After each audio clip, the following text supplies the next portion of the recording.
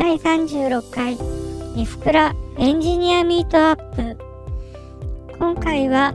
今から始める Linux コマンド操作入門というテーマで新人エンジニアが覚えておくと役に立つ必須の Linux コマンドについて4月20日発売のそろそろ常識漫画でわかる Linux コマンドの著者である水野はじめ氏をお招きして語っていただくという内容でした。まずはメインスピーカーの日本仮想化技術株式会社水野はじめ氏によるセッションをお楽しみください。はい。えーと、それでは今日は、えー、今から始める Linux コマンド入門というタイトルで、えー、日本仮想化技術の、えー、水野が発表します。よろしくお願いします。で、えー、まあまあ、この辺はお約束なんですけれども、まあ、日本仮想化技術、えっ、ー、と、まあ、その名の通り、ベンターニュートラルな仮想化を専門としている会社で、えー、私、ここで主にあの DevOps 案件とかを普段やってます。で、えー、っと、そうですね。普段はその AWS とか使った DevOps 案件とかをやってまして、まあ、それ以外にも、あの、原稿を書く仕事が結構ありまして、えっ、ー、と、ニフクラさんのですね、クラウドナビの記事制作とかを普段やってたりもします。あと、あの、プライベートの方ではですね、もう12、3年ぐらい、あの、雑誌なんかに入門者向けの記事を書く仕事をしていまして、今ですとあの日経 Linux さんに、えーと、Linux 100%活用ガイドという記事を連載しています。それでですね、このそろそろ常識、漫画でわかる Linux コマンドという本を書きました。えーと、4月20日に発売したばっかりで、えーと、Kindle 版が今日、今日ですね、リリースされました。えーとまあ、これはその、なんだろうな、これ一冊でなんか体系的にコマンドのことがわかるっていう本ではなくて、えっと、初めてコマンドに触れる人が、まあ、最初の一歩ですね、何をしたらいいのみたいなのがわかるように、え、概要と、まあ、理屈と、あとはまあ簡単な、えー、と操作を実践編として一通り、えー、とウェブサーバー構築したり SSH で接続したりみたいな、あとはファイルを操作したりとか、えー、そういうことを一通り書いてる本になります。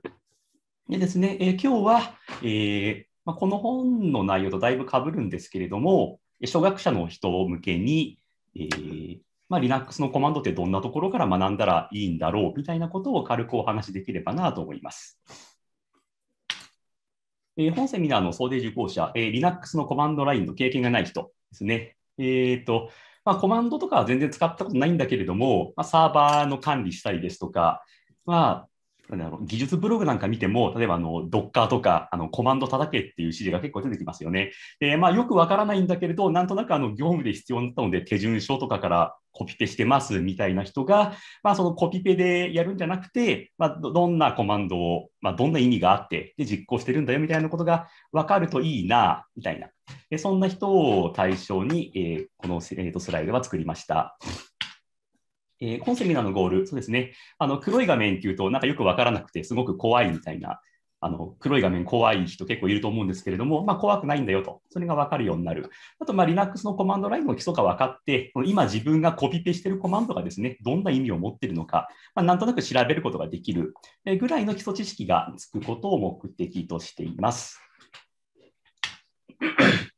でアジェンダですね。まずそもそもあの CLI 使うメリットとは何ぞや。というまあ前提がありまして、で実際に CLI を実行するための環境の準備、それとコマンド操作の基礎、それとよく使うコマンドを軽く紹介、実例を交えて紹介したいと思います。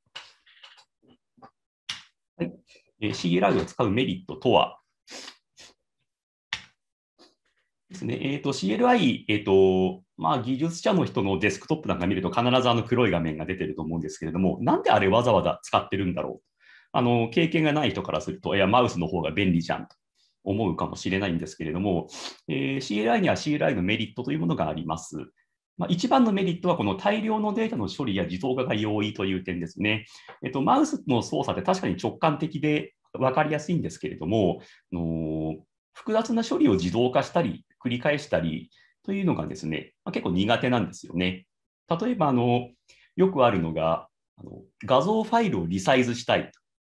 えーと、例えば、フォトショップで開いてあのちっちゃくしたりすることは簡単なんですけれども、じゃあその画像が何百枚もあったら、それ全部手でやるのかって話になりますよね。まあ、できなくはないですけど、非常に大変。なんですけれども、あのコマンドを使うと、そうした作業の繰り返しですとか、あの一括の処理なんてものが非常に簡単にできるようになります。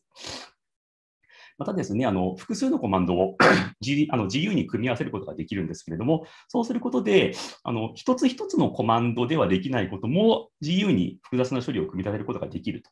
こういうのが、えっと、CLI のメリットですね。またですね、あの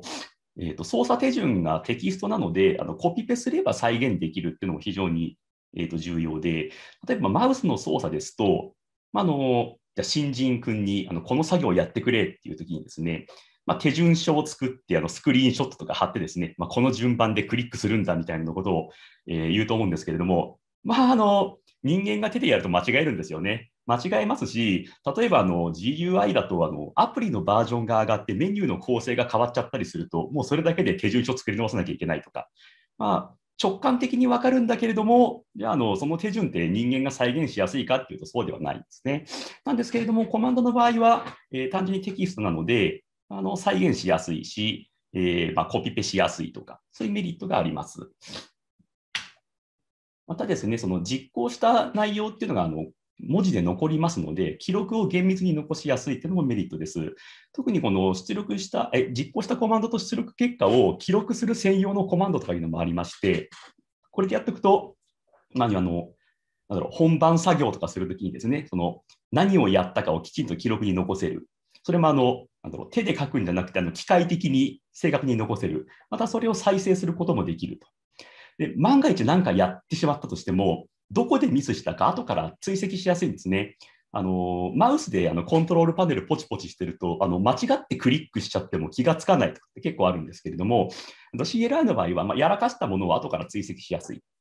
まあ、それもまたメリットです。あとは単純にですね、GUI ほど多くのリソースを必要としないので、非力なマシンでも動きますし、えー、ですね、あの必要なコンポーネントが少ないので、あのセキュリティ的にも有利ですね。ですので、あの人間が対話的に操作しないサーバーとかとの相性も非常に良いインターフェースですと。まあ、CLI にはこういうメリットがいろいろありますまあ、簡単にまとめるとですね、まあ、GUI にはないメリットがあると。なので、あの CLI っていうとこう古臭いとか、あの、縛りプレイみたいなわけでは全然なくて、あの、GUI にはないメリットがあるから、あえて好きで使っている感じですね。で、この話をすると大体あの、どっちが優れてるんだみたいな話になるんですけれども、いや、いやメリットはそれぞれあって、あの、なんだろうな、向き不向きがあるので、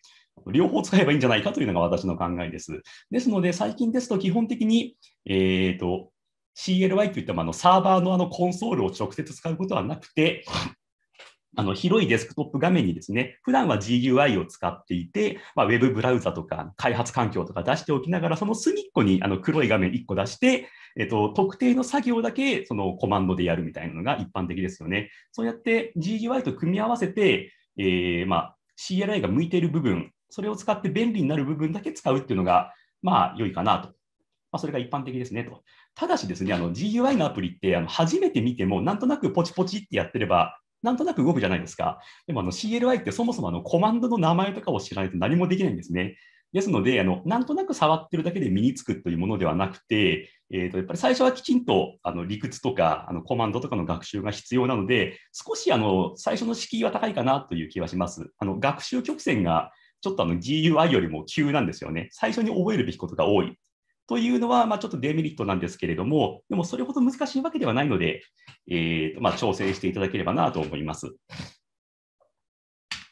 さて、じゃあ実際にその CLY を実行するための準備をしましょうという話です。さて、えー、まあ、これは参考なんですけれども、あの大昔ですねあの、ターミナルという機械がありました。これ、あのキーボードとディスプレイだけを備えたあのた、まあ、機械でして、大昔のコンピューターってあのパソコンみたいにあのデスクの上にポンってあったわけじゃなくて、あの大きいコンピューターが別の部屋にあったんですね。で、それを操作するために、あの通信用のケーブルをビーッと貼って、別の部屋からあのキーボードとディスプレイだけをつないで、えー、ネットワークを介してコンピューターを操作する。そんな装置がありました。それを端末とかターミナルって呼ぶんですけれども、えっと、今の、えー、パソコンの OS、まあ、Windows とか Mac とか Linux ですけれども、でもあのこのターミナルを疑似的にあの再現するソフトウェアというものがありまして、ターミナルエミュレーターとか呼ばれてます。このソフトウェアを使って、この黒い画面の、ま、機械ですね、これをソフト的に再現して、その中で、えー、コマンドを実行するというのが一般的です。まあ、こういうものを使うんだよということですね。さて、でですね、あのまあ、この黒い画面、この画面見ると、あのこの黒い画面がコマンドを実行してるんだみたいにこう誤解する方もいるんですけれども、この黒い画面っていうのは実はそのウィンドウの見た目とかのフォントとかそういうものを管理してるだけであって、実際はその中でシェルというプログラムが動いてます。のシェルっていうのは、ユーザーにインターフェースを提供するプログラムの総称でして、えー、まあ、グラフィカルなシェルとかコマンドラインシェルとかいうのがあってですね、の Windows のエクスプローラーもグラフィカルシェルの一種です。ああいうインターフェースを提供するプログラム全体がシェルというんですけれども、その中で、えーと、コマンドラインシェル、あのコマンドライコマンドを解釈して、実行するコマンドインタプリタと呼ばれるソフトウェアが、えー、一般的にシェルと呼ばれています。でですね、シェルにもいろんな実装があるんですけれども、Linux ではあのバッシュという、え、シェルが標準的に主に使われていますね。えーまあ、何が言いたいかっていうと、あの黒い画面っていうのはただあの画面を表示してて、えあとはキーボードの入力を受け付けてるだけであって、実際はこのシェルというものがコマンドを解釈していろいろ実行していると。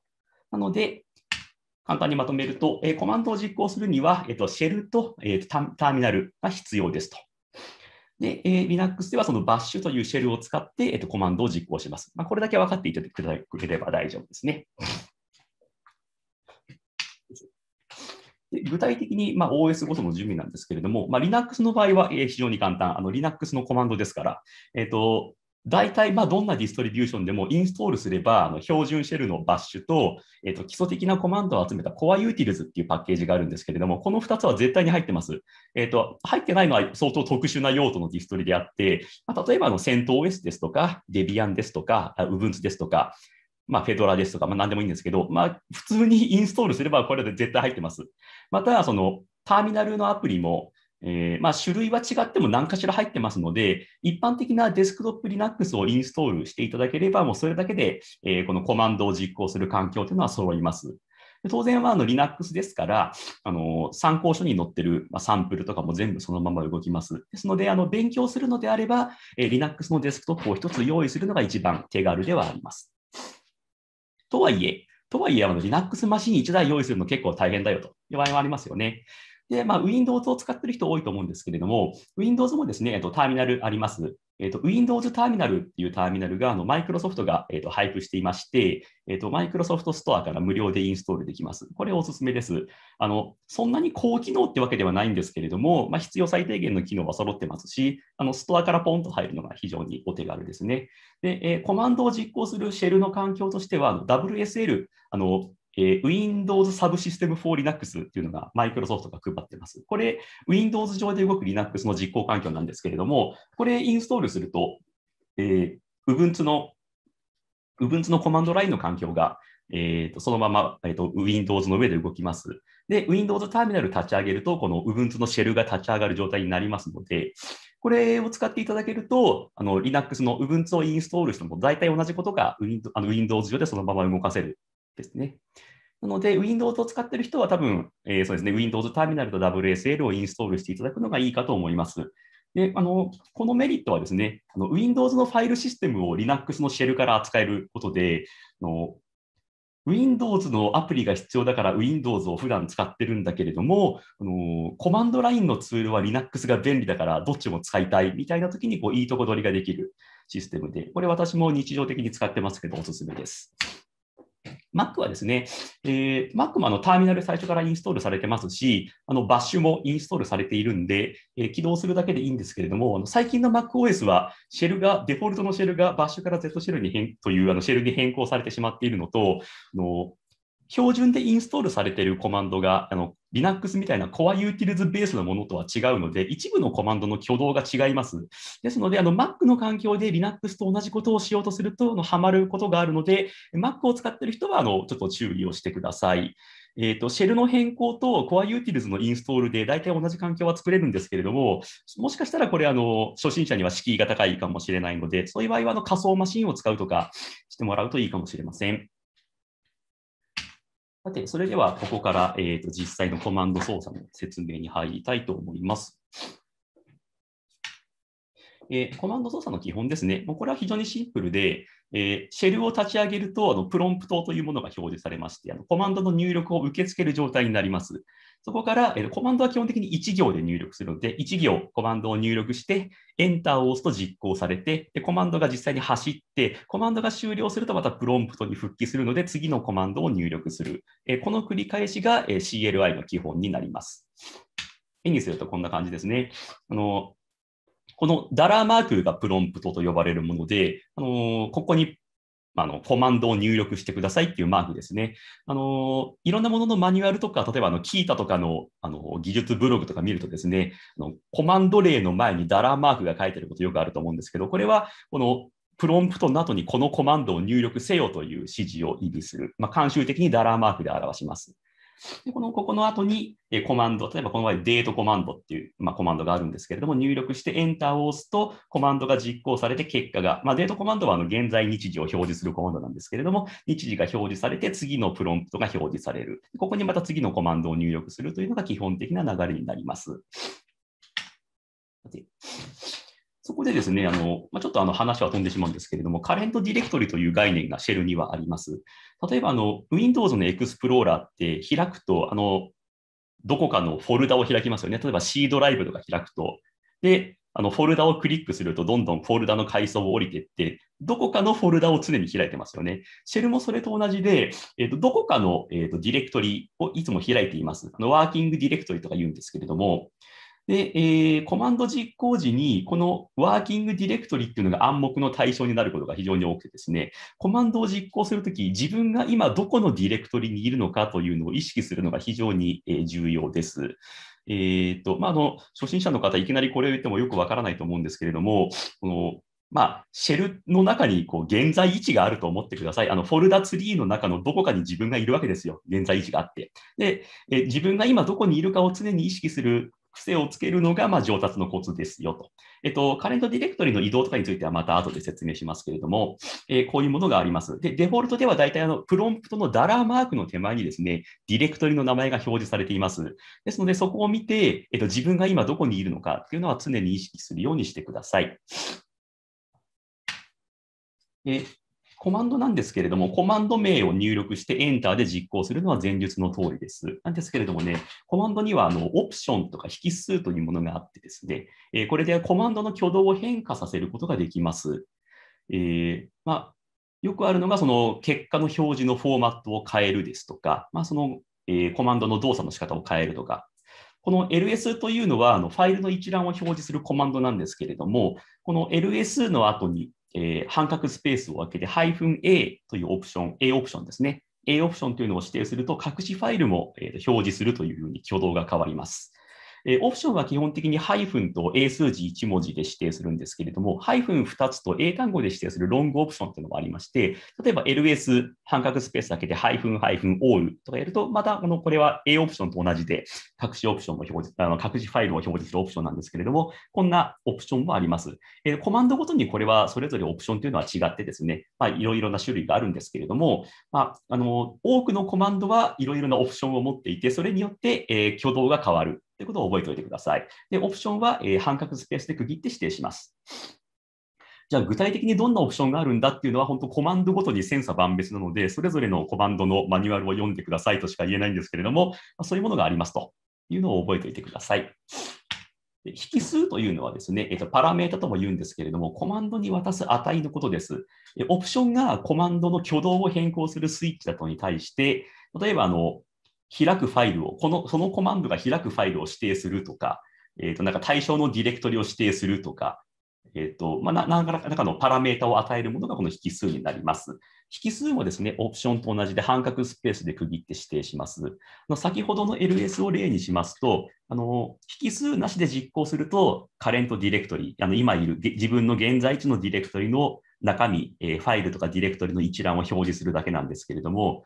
引数としてディレクトリ名を与えると、そのディレクトリの中身を表示するというふうに、えー、挙動が変わります。まあ、これがあの引数のよくある例ですね。あと、この、えー、テイルというコマンドがあるんですけれども、あの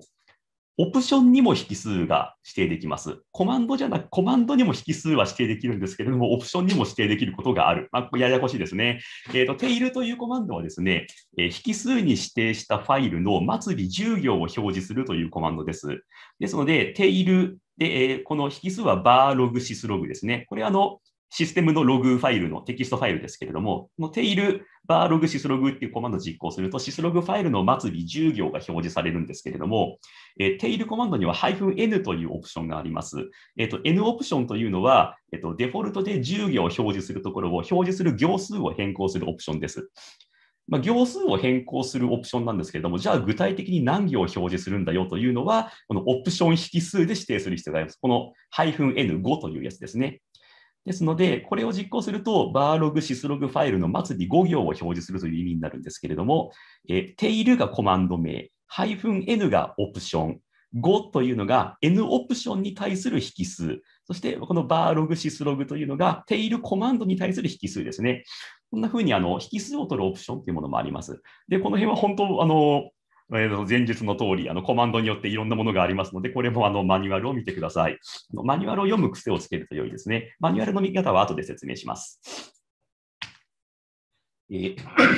でですね、えー、コマンド、まあ、いろいろ入力していると、当然あのタイプミスとかすると思うんですけれども、入力中のコマンドはですね、テキストエディタみたいに編集が可能になってます。ですので、あの複雑なコマンドを一発で書き上げる必要は全然なくてですね、途中でもし間違えちゃっても、あの安心してください。あのちゃんと編集ができますと。また、カットペーストとかもできますので、あの一度入力した文字をですね、あのクリップボードにコピーしてペーストしたりですとか、そういうこともできるようになっています。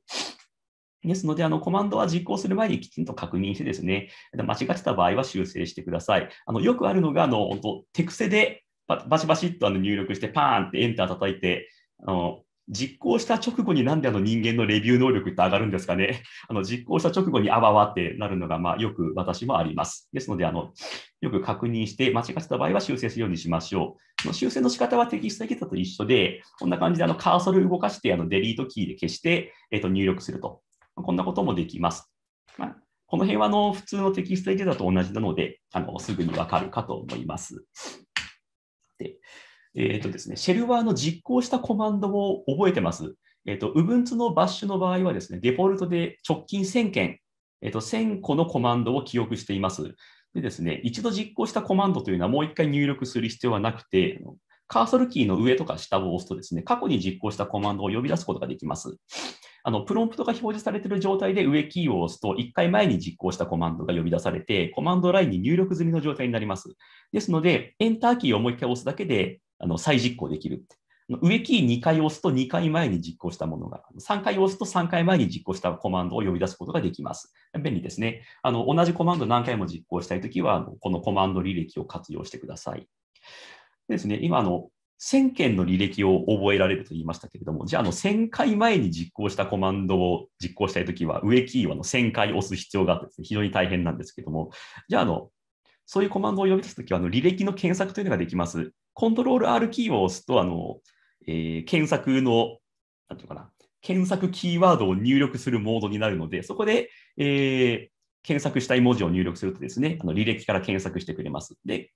えー、見つかったらエンターキーを押せば実行できると。で当然、あの履歴は先ほどのこの、えー、編集ですね。呼び出した履歴も編集できるので、あの前に実行したコマンドを呼び出して、あの一部分だけ書き換えて編集して再実行するとかもできます。ですので、あのなんだろう、同じコマンドとか似たコマンドは何回もタイプすると当然めんどくさいですし、タイプミスもしますよね。ですので、履歴をどんどん利用してですね、えー、使い回すのが、えーまあ、楽ですし、ミスも減るコツですね。あの私もあの例えばのデビアンのパッケージのビルドとかするときにですね、かなり複雑なコマンドを実行するんですけれども、自分で組み立てたコマンドなんですけれども、じゃあもう一回入力しろって言われると、えっと、だいぶきつくてですね、大体いつもあの履歴から何回も実行してます。ですので、あの新しいあのパソコンに OS インストールしたら、この履歴の履歴はあのファイルに保存されてるんですけど、履歴ファイルをまず移植しますね。あの業務でも毎日コマンド使ってますけれども、履歴がもし全部なくなってしまったら、だいぶ辛い状態になってしまいます。そのぐらいこれは、えーと活用しています。こんな感じですね。例えばこのデートコマンド実行した後に、えっと、プロンプトの状態で上キーを押すとデートってこう入力された状態になります。ですので、あの同じコマンドを実行したかったら、ここでエンターを押せばよいと。でもっと遡りたかったら、上キーをもっと何回も押すとですね、どんどん遡っていきます。ですので、あのまあ、履歴をま活用するようにしてください。それとですね、あのコマンド保管という機能があります。これあの入力中のコマンドをですね、タブキーを押すと残りの部分を保管してくれる機能です。えー、ですので、あのコマンドって全部全部自分で入力する必要はなくて、こう1位に特定できるところまで先頭から少し入力したら、残りタブキーを押すだけで、えー、と保管してくれるという機能があります。これの何がいいかって、やっぱりあのタイプミスしないところですね。長いコマンドって、えーと、やっぱり入力していると、おまあ、絶対タイプミスしてしまうんですよね。あとあの、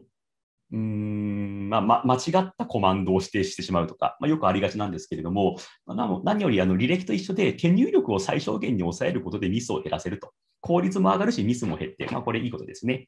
えっ、ー、と、具体的にはこんな感じです。例えば、あの、ls と入力してタブキーを押すとですね、あの ls っていう名前で始まるコマンドって結構いっぱいあるんですよ。あの、例えば ls USB とかはあの USB のデバイスを表示するコマンドですし、ls blk はブロックデバイスの一覧を表示するコマンドですとか、LSHW はハードウェアの一覧を表示するんですけれども、こういうコマンドいっぱいあります。ですので、まあ、候補がいっぱい出ますと。例えば LSC まで入力して、もう一回タブキーを押すと、LSC で始まるコマンドは LSCPU。これはの CPU の一覧を表示するコマンドですけれども、これしか存在しないので、残りの部分が自動的に保管される。こんな感じであのほあの保管を使って候補を絞り込んでいくっていうのが、えっと、なんだろうな、確実にコマンドを入力するコツですね。でえっと、先ほど言ったマニュアルです。えっと、オンラインマニュアルがありまして、man というコマンドがあります。この man コマンドの引数に、えっと、読みたい、えー、マニュアル名を指定すると、そのマニュアルが端末内に表示されます。マニュアル名は基本的にコマンド名と一緒です。ですから、例えば先ほどの、えーと、LS コマンドのマニュアルが見たかったら、man、えー、半角スペース LS で実行すると LS コマンドのマニュアルが表示されます。でえー、マンコマンド自体にもマニュアルがあるので、あのマン、えースペースマンを1回実行するとですね、あのマンコマンドの、えーと、使い方が表示されますので、最初はまずこれを見とくと良いかなと思います。あのコマンド、そうですね、今だとあのコマンド名でググってあのネットで調べちゃう人も結構いると思うんですけれども、あの先ほども言ったようにあの、例えば Mac と Linux でコマンドの挙動違いますし、バージョンによっても違いますし、あのネットの情報があの常に正しいとは限らないので、と自分のシステムにインストールされているマニュアルをまず読むように心がけてください。さて、ではここからですね、えーと、品質のコマンドを、えーと、具体例を交えて紹介したいと思います。とはいえですね、あのコマンドってものすごく数が多くてですね、あの全部を紹介することっていうのはとてもできないので、まあ、毎日使うよねみたいな、えー、よく使うものだけに絞って軽く紹介をします。まずこれ、あの先ほども出ましたけれども、ディレクトリの内容を表示するコマンドですね。これ多分一番使います。えー、もう何かあったらとりあえず LS を叩いておけと。えーまあこれまあ、LS もオプションがすごく多くてですね、あの一口には表あの説明できないんですけれども、よく使うのが、あの先ほども言った隠しファイルも表示する -a オプションですとか、えっと、詳細なリストを表示する -l オプションあたりをよく使いますね。このあたりを覚えておけば、とりあえずはいいんじゃないかなと思います。ですね、あの、カレントディレクトリを変更するのは CD コマンドというコマンドで、えー、引数にディレクトリを指定すると、そのディレクトリに移動します。えー、ですね、コマンドは基本的に CD で移動して、LS で中身を見ての繰り返しだと思っていただいて結構です。そのぐらいよく使うコマンドです。まずこの2つを覚えてください。はい。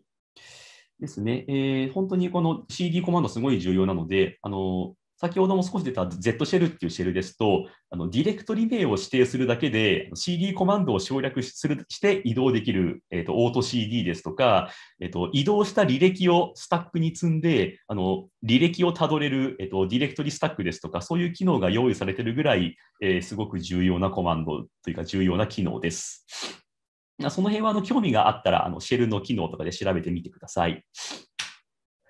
そうですね。やっぱりあのコンピューターというとあの何はなくともこのファイルの操作なんですけれども、ファイルのコピーとか移動をするコマンド、コピーが、えー、とコピーの略で CP、えー、と移動は、えー、とムーブの略で MV というコマンドがあります。これはあのどちらも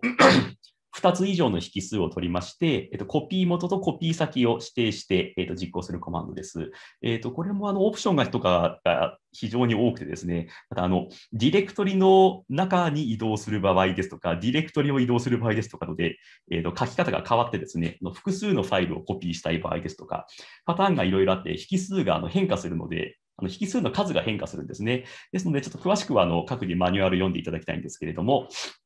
えーとまあ、このこのコマンドをよく使うコマンドです。で、えーと、MV コマンドは移動、ファイルを移動するっていうと別のディレクトリに移動するっていうふうに思うかもしれないんですけれども、えーと、実質はこれ名前を変えるコマンドです。というのもですね、あの Linux においてあのファイルの名前っていうのはあのディスク上にあるデータですね。データに対して付けられたラベルがファイル名なんですけれども、その名前を変えることが、このディレクトリを移動することに意味するんですね。ですので、その、うん、なんて言ったらいいかな。もしあの興味がある人は、あの iNode とかハードリンクっていうキーワードで、えっと、ググってみてください。えー、っと、ハードリンクを、えー、っと書き換えるのが名前を変えるということなんですけれども、まあ、ちょっとここはでは省略します。まあ、あの移動とかコピーするコマンドです。またよく使うのがですね、cat というコマンドで、えー、っと引数に指定したファイルの内容を端末に表示するコマンドです。というのは、あの厳密に言うと非常に正しくなくて、えーと、標準入力の内容を標準出力に出力するというコマンドなんですけれども、まあ、よく使うのはこの引数にファイル名を指定して、その中身を確認するときに使うコマンドです。で引数は複数指定することができて、複数指定するとそれらを連結して表示するコマンドです。えー、実際のこのコマンド名の由来は、あの、コンカティネートで、この連結するっていう意味のコマンドです。あの、で、えーと、テキストだけでなく、バイナリファイルも処理できまして、例えば、あの、経験ある人もいると思うんですけれども、例えば、あの、えー、仮想マシンのディスクイメージみたいな何十ギガもある大きい、えー、ファイルありますよね。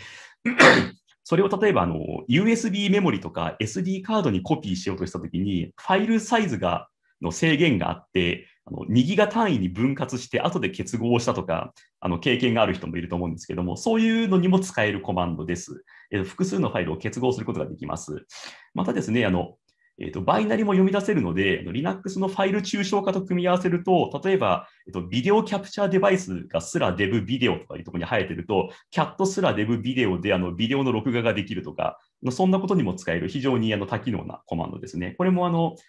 主にはあの設定ファイルの中身を確認したりとかするときによく使います。あとはファイルの削除ですね。これはあの remove の略で rm というコマンドですけれども、ファイルやディレクトリを削除するときはコマンドこのコマンドを使います。ただ、あのディレクトリを削除するには、えーと、R オプションというのが必要でして、えーと、オプションなしではディレクトリは消せないようになっています。よくあるジョークでこの rm-rf すらっていう、あの